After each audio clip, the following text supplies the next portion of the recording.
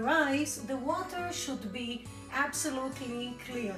You can see now how white is the water. It's because this is the first one and the rice has so much starch. So we're gonna let it sit and then we'll repeat this three times and our rice will be ready for the osh pilau dish. I already got ready with our chicken pieces and now are going to cook the chicken just to brown them a little bit on each side, probably five minutes on each side and then we'll remove them. So all I'm doing now, I am adding the chicken pieces so that they can brown. Five minutes on each side. Our chicken browned nicely. It's time for us to take it out of the pan and I'm gonna set it aside for now. To the pan, I am adding one large onion that I already chopped great. And we're cooking it with the same oil. So now the onion is flavored with the oil from the meat, from the chicken. We're gonna let it cook to become a little caramelized. And then we're gonna put back the meat our onion browned nice, our next step is we are going to return the pieces of chicken to our pan.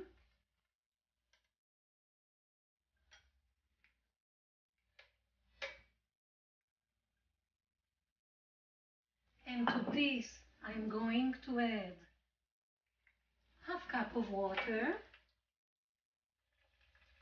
and make sure to check below this video. I will put the whole recipe for you with all the details.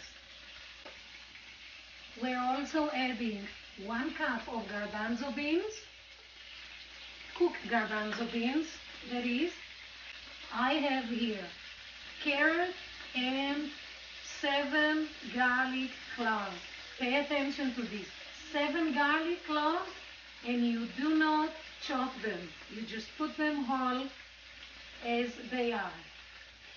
So, carrots and garlic cloves. I'm gonna add salt. Remember the spice mix that I put in my food processor? It's ready for us. Oh, it smells beautiful. And we are adding all our spice mix that we grinded to the dish. Oh, I smell the aroma. That's beautiful. Give it a little mix, just like that, to make sure that the spices are blending with the liquids. And that's it. We're going to cover it and we're going to simmer it for 30 minutes now. That's it, my friends. We are ready now for the last step of making the osh pilau, the Bukhara main dish. So, so our oshpelo has been cooking for 30 minutes on simmer and we are ready to add the last ingredient.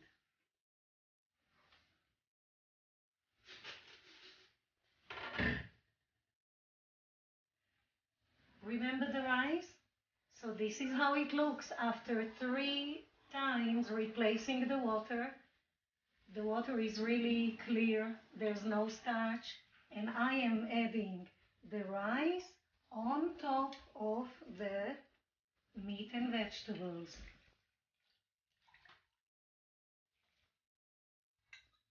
I'm also adding half cup of water and we're gonna bring it to a boil and then we're gonna simmer it for another 35 minutes and our dish is ready to be served.